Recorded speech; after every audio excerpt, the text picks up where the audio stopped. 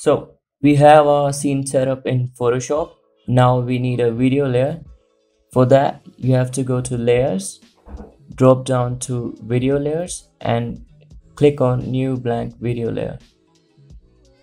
As you can see, we have a new video layer here. But first, we have to drag this layer above the video group so we can work on this. Drag it back here. And now we can start rotoscoping. Select the color and select your brush.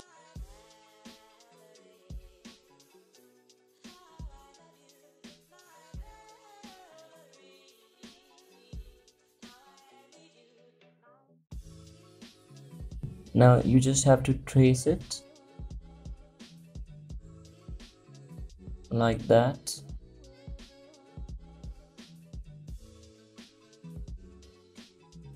but you can't properly see this way so you'd have to turn on the color overlay.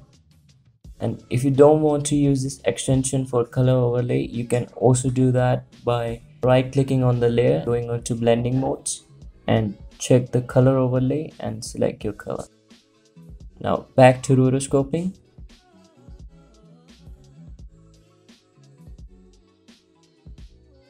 Let's trace this here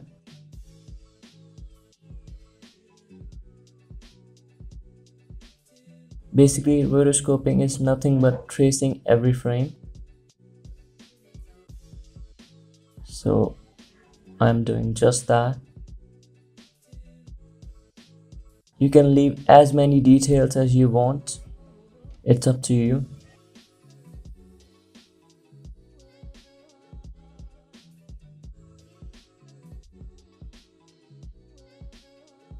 Let's draw this first frame properly.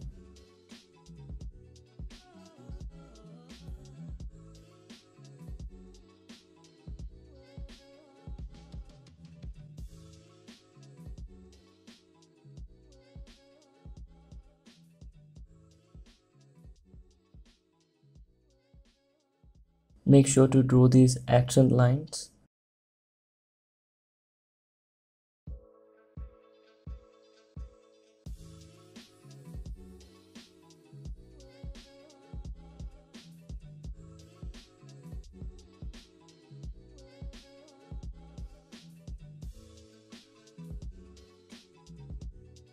So now if we turn off our background layer, you can see Make sure to do this step time to time to correct some mistake you might have made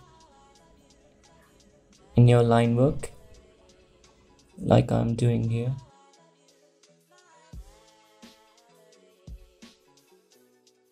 Now on to the next frame. You see the rotoscoping is the most mindless part of animating for me so you can listen to your favorite songs or music or podcasts. Anything you want. Because trust me it gets boring. Now we just have to trace every frame for the rest of this footage. And also one important tip. Make sure you draw on the correct layer. Because it has happened to me before. I accidentally drew on the background layer and then when I realized I have to draw I have to draw those frames all over again.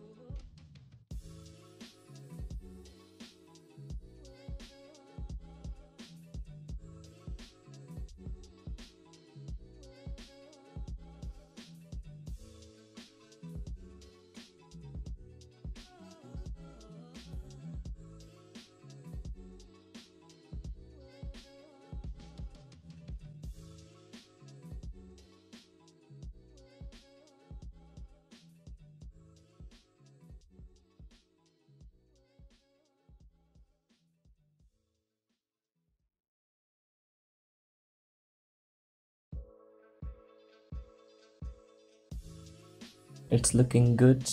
We have three frames here.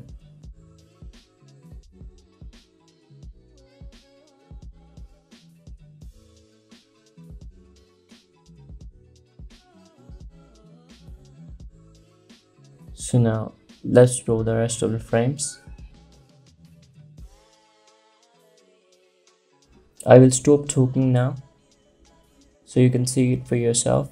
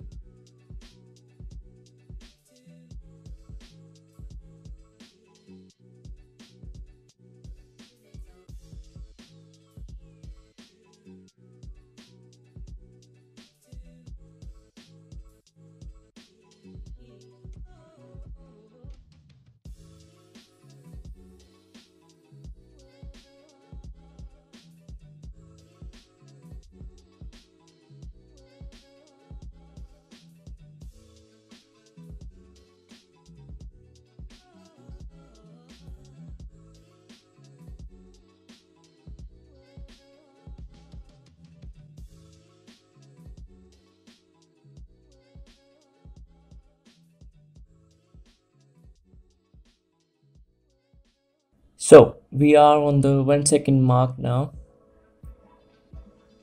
The one second animation is almost done.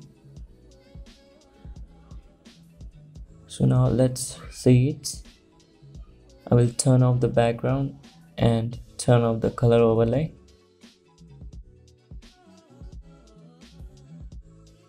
And let's drag the marker here. Let's see. You can see here I forgot to draw the arm in this frame. You see that's why it's important to check your progress from time to time. That's what I was talking about before. So now let's draw it here.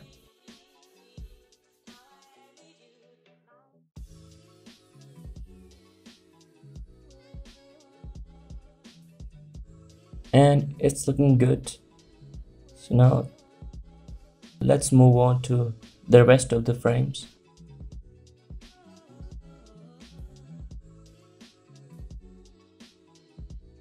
I will draw the rest of the frames now.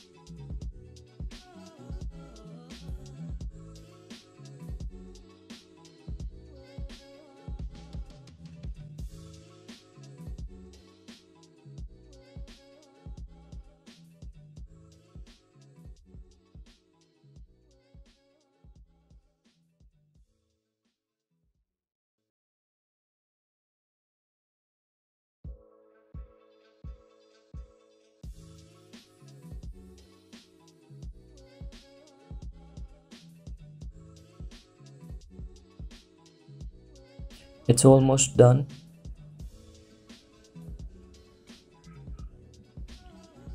Now let's add a background here.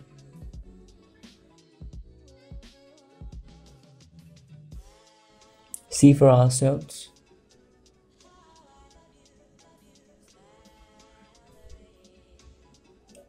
Let's drag the marker back here. Whoa it turned out much better than I expected and it looks very good. So that was the rotoscoping in Photoshop but it's not the end of the course because I have a bonus lecture for you all. So stick around and I'll see you in the next lecture